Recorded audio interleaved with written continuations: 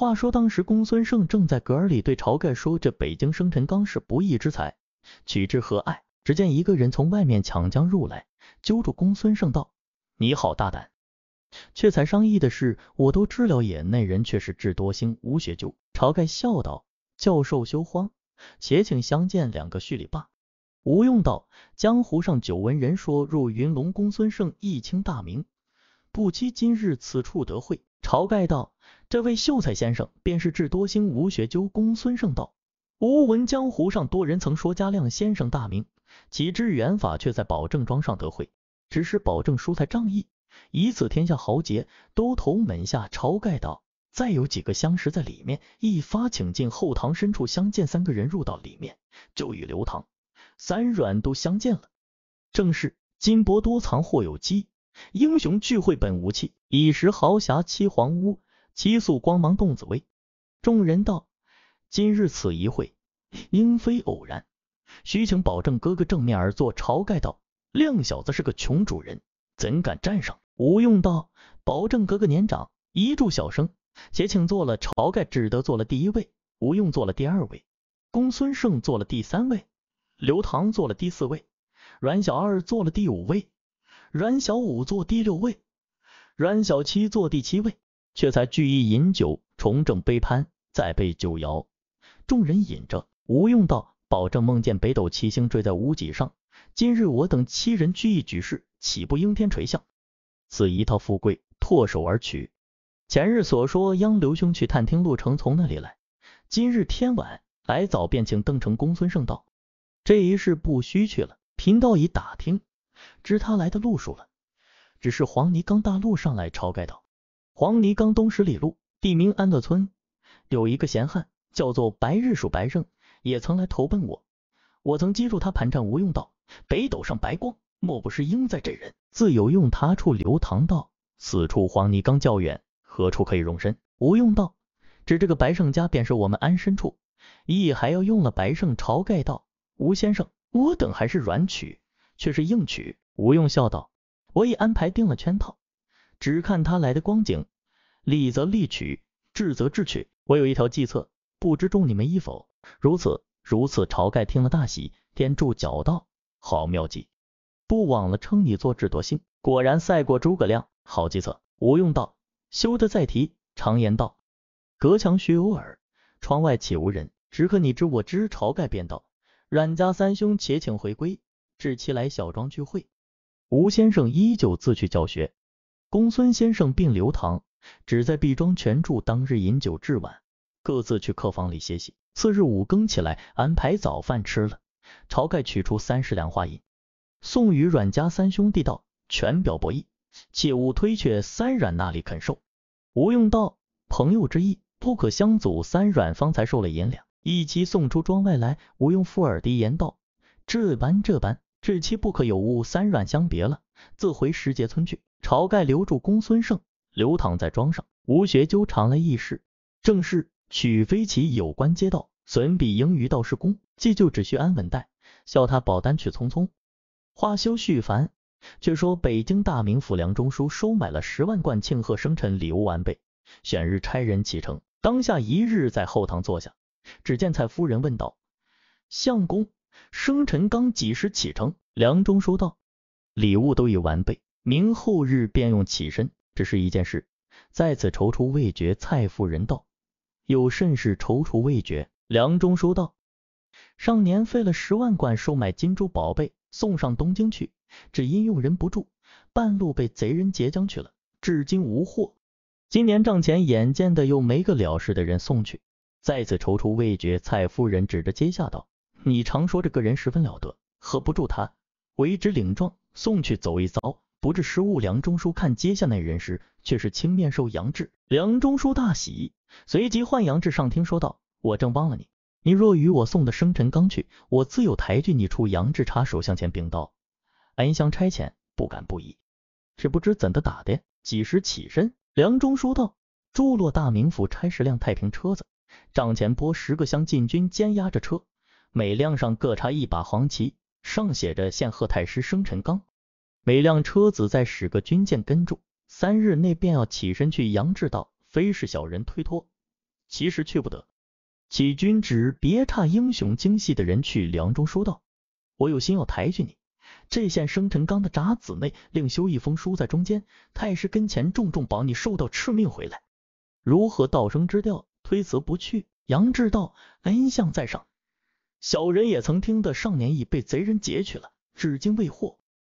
今岁途中盗贼又多，此去东京又无水路，都是旱路，经过的是紫金山。”二龙山、桃花山、伞盖山、黄泥冈、白沙坞、野云渡、赤松林，这几处都是强人出没的去处，更兼单身客人亦不敢独自经过。他知道是金银宝物，如何不来抢劫？枉结果了性命。一次去不得，梁中书道嫩地时多驻军校防护，送去遍了杨志道，安相便差五百人去，也不济事。这厮们一声听得强人来时。都是先走了的。梁中书道：“你这般的说时，生辰纲不要送去了。”杨志又禀道：“若依小人一件事，便敢送去。”梁中书道：“我既委在你身上，如何不依你说？”杨志道：“若依小人说时，并不要车子，把礼物都装作十余条担子，制作客人的打扮行货。也点十个壮健的乡进军，却装作脚夫挑着，只消一个人和小人去，却打扮做客人。”悄悄连夜上东京交付，闷得十方好。梁中书道：“你甚说的是？我写书成重重帮你受到诰命回来。”杨志道：“深谢恩相抬举，当日便叫杨志一面打栓单脚，一面悬见军人。次日叫杨志来厅前伺候。”梁中书出厅来问道：“杨志，你几时起身？”杨志禀道：“告父恩相，只在明早准行，就为领状。”梁中书道：“夫人也有一单礼物，另送于府中宝卷。”也要你领，怕你不知头路，特地再教奶公谢督管，并两个月后和你一同去杨志告道。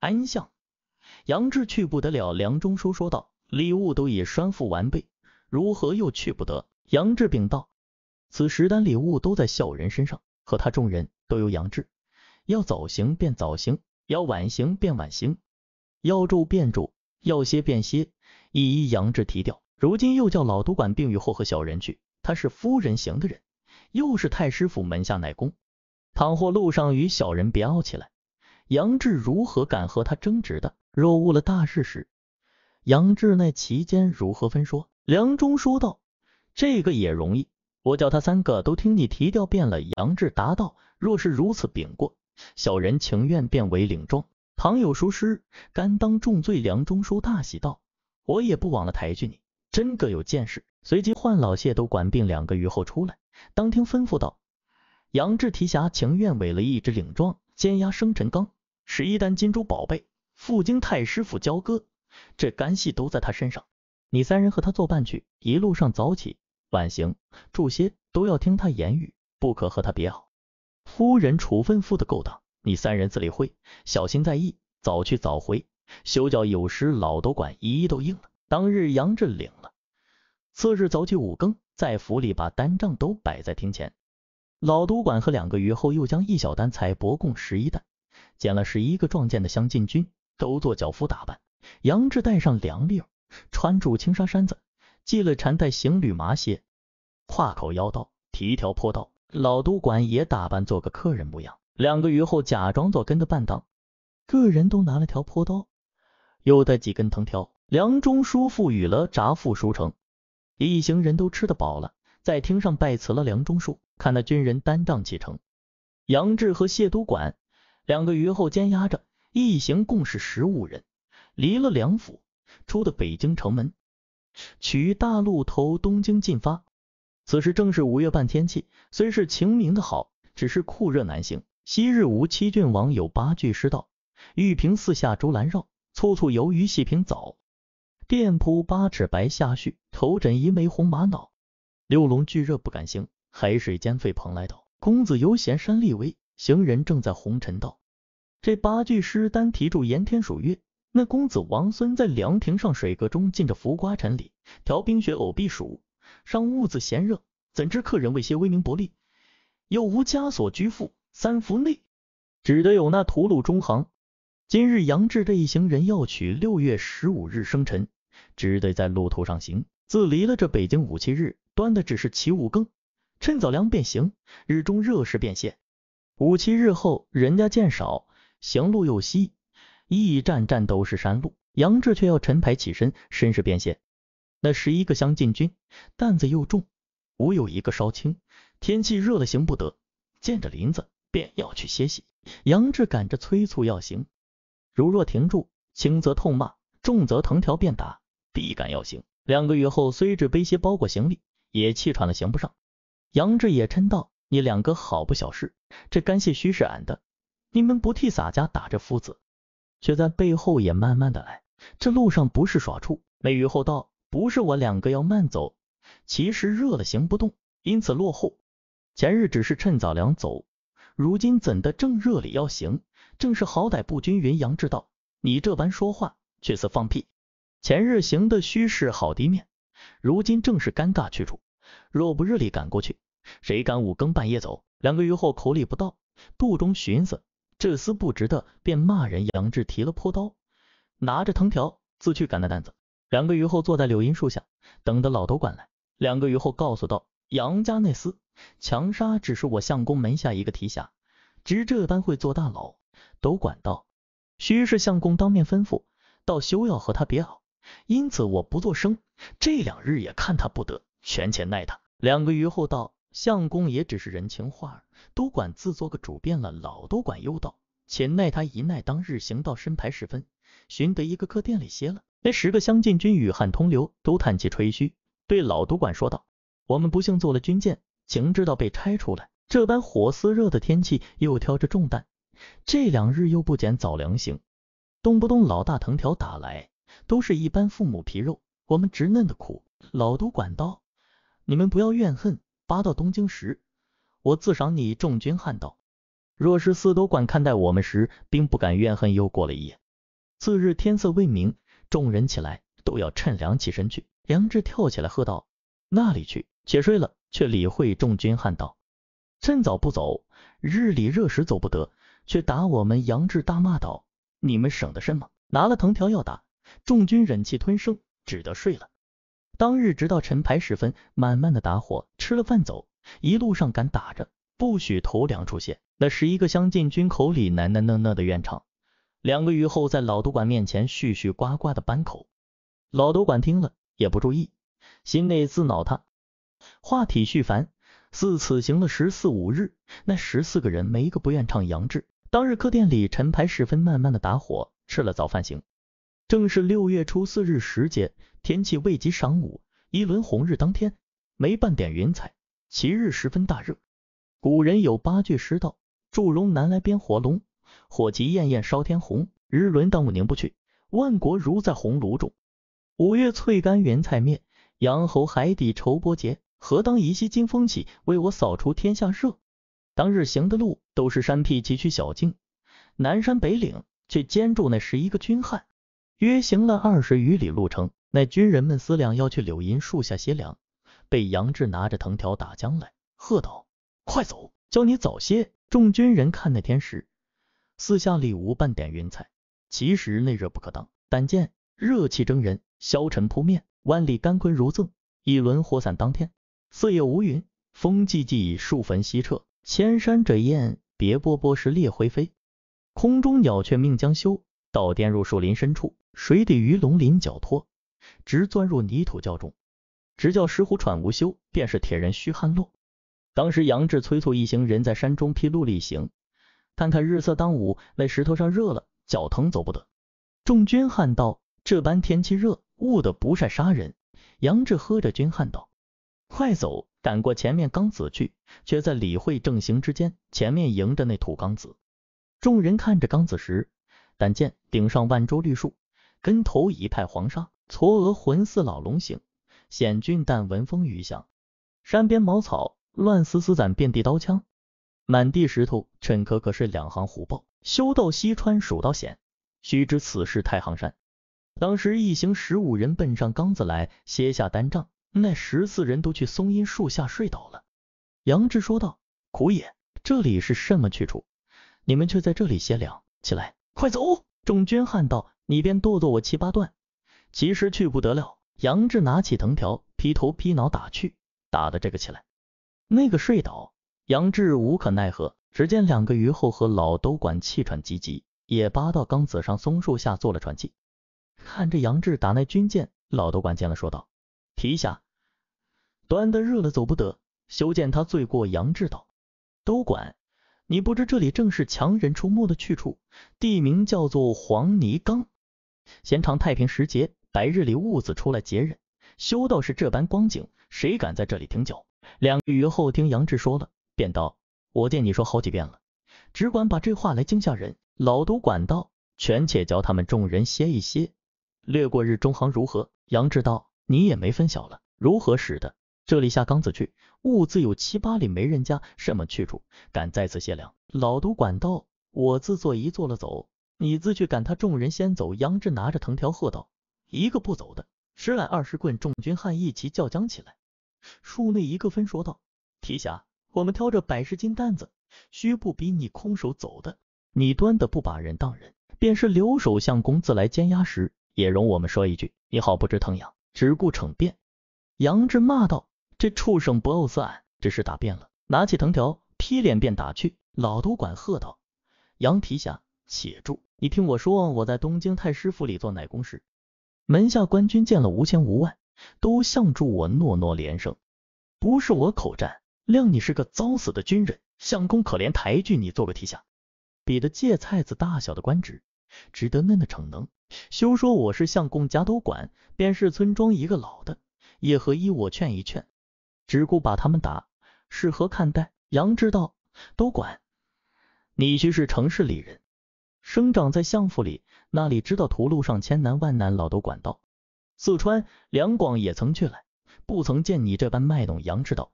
如今须不比太平时节的管道，你说这话该弯口割舌。今日天下嫩的不太平。杨志却待在要回言，只见对面松林里影住一个人，在那里梳头探脑家望。杨志道：“俺说什么？误的不是歹人来了。”撇下藤条，拿了破刀，赶入松林里来，喝一声道：“你这厮好大胆，怎敢看俺的行货？”正是说鬼便招鬼，说贼便招贼，却是一家人，对面不能识。杨志赶来看时，只见松林里一字儿摆着七辆江州车儿，七个人拖得赤条条的在那里乘凉。一个鬓边老大爷搭朱砂髻，拿着一条坡刀，往杨志跟前来。七个人齐叫一声：“阿爷！”都跳起来。杨志喝道：“你等是什么人？”那七人道：“你是什么人？”杨志又问道：“你等莫不是歹人？”那七人道：“你颠倒问，我等是小本经济，那里有钱与你？”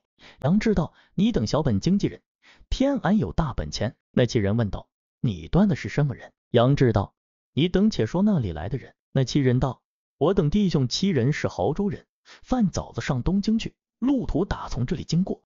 听得多人说这里黄泥冈上时常有贼打劫客商，我等一面走，一头自说道：我七个只有些枣子，别无甚财富，只顾过冈子来。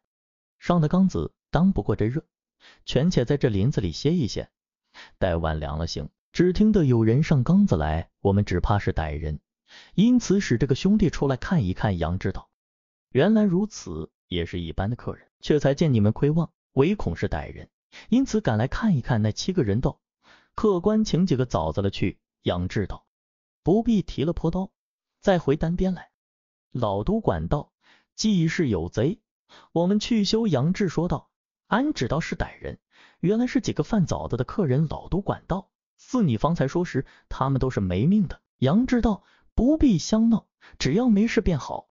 你们且歇了，等两歇走。”众军汉都笑了。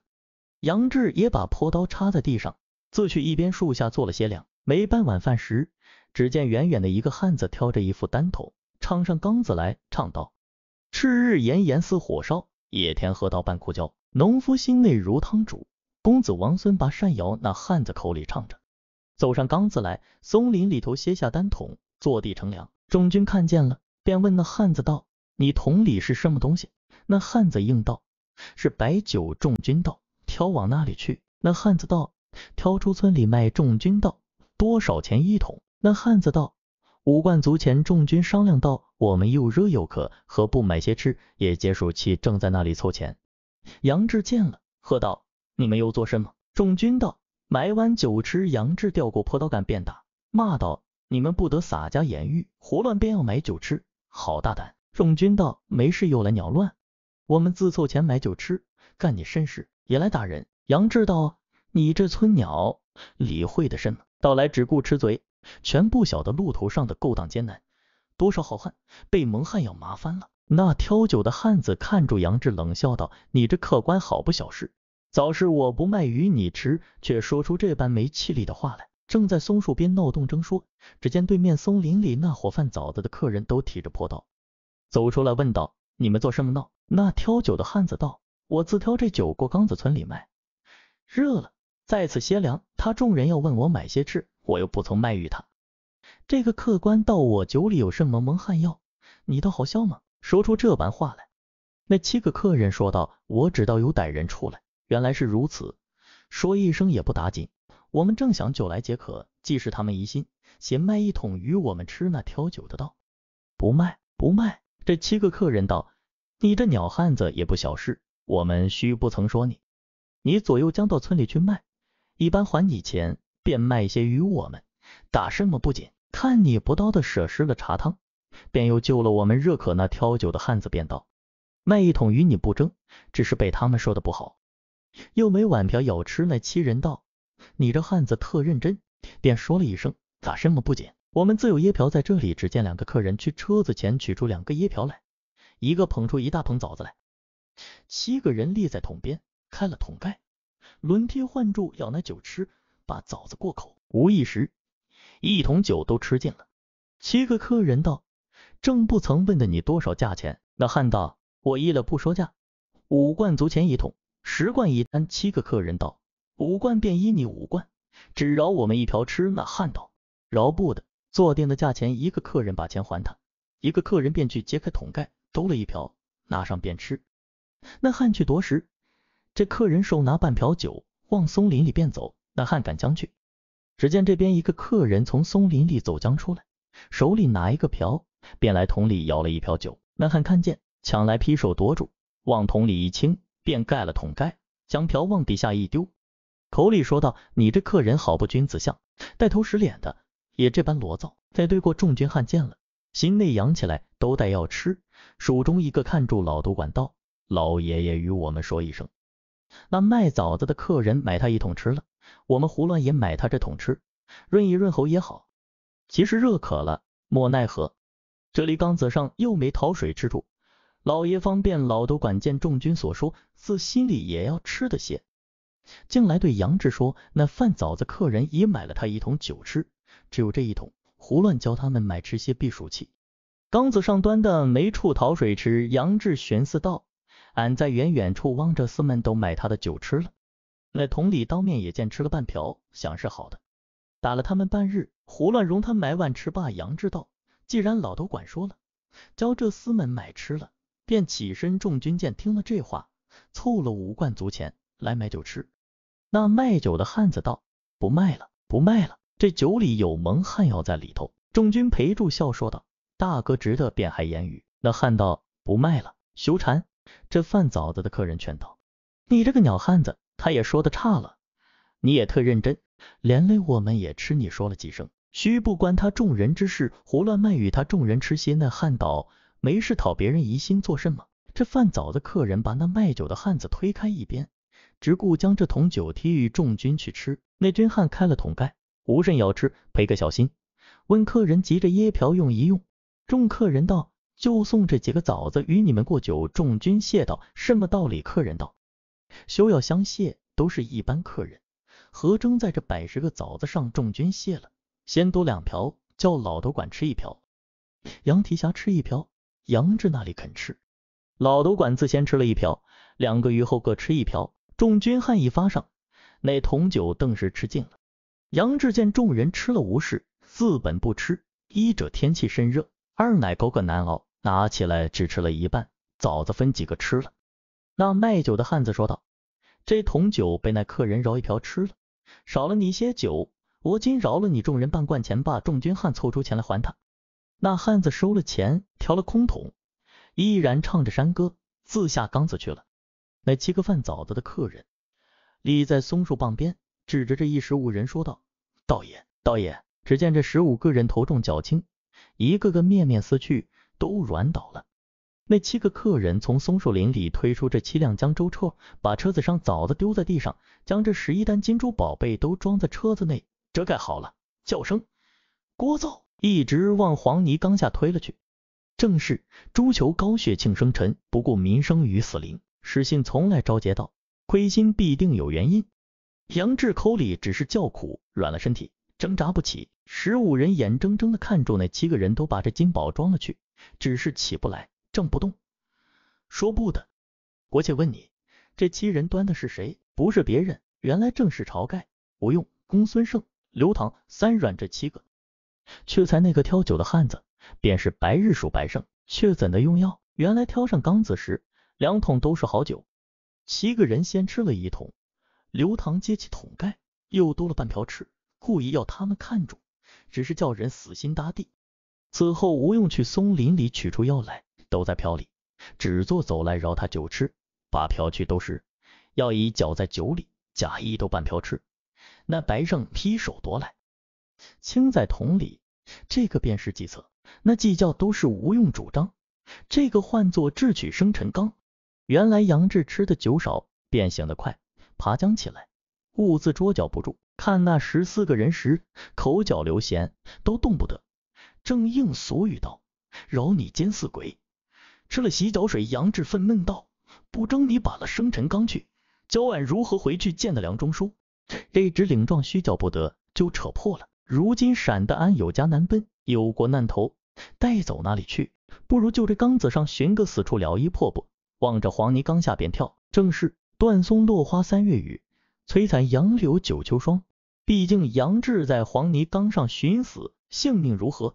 且听下回分解。”这部纯粹是我个人认为非常好的作品，所以我做了这部影片给大家，主要目的是让盲人或视障人士能够观看电视和电影，为残障人士提供包容性体验，使他们能够获得与其他人相同的信息和娱乐。赶紧你看完这部影片，如果大家喜欢的话，就支持这个系列吧。